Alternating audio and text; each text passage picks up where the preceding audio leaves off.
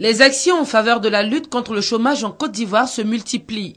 Après les différents programmes d'insertion jeunes, l'AGEP, Agence d'études de promotion de l'emploi, opte maintenant pour un partenariat avec les hommes d'affaires burkinabés.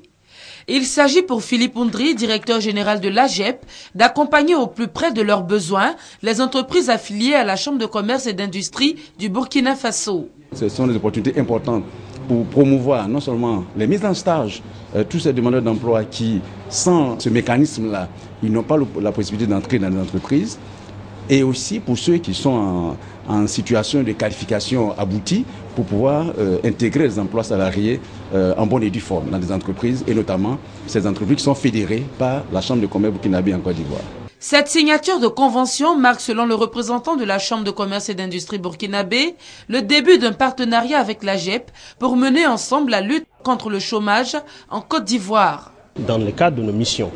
euh, pour appuyer les opérateurs économiques à disposer de ressources humaines de qualité, nous avons accepté associer notre image euh, à AGEP pour pouvoir disposer en fait des différentes ressources dont elle dispose euh, dans sa base de données et assouvir aux besoins en ressources humaines des opérateurs économiques burkinabés qui en font la demande. Près de 10% des Ivoiriens diplômés sont à ce jour en quête d'un premier emploi. Ce rapprochement Côte d'Ivoire-Burkina représente assurément une porte ouverte au premier emploi pour nombre d'entre eux.